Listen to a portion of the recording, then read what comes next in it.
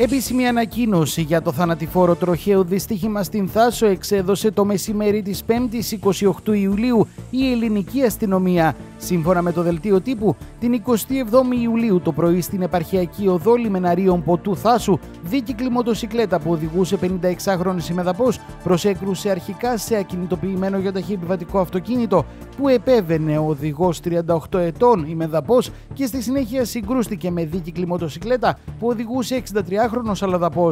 Αποτέλεσμα του τροχαίου ήταν ο θανάσιμος τραυματισμός του 56χρονου και ο τραυματισμός του 63χρονου, ο οποίος μεταφέρθηκε στο Γενικό Νοσοκομείο Καβάλας. Προανάκριση για τα αίτια και τις συνθήκες του ατυχήματος διενεργεί ο αστυνομικός σταθμός Λιμεναρίων Θάσου.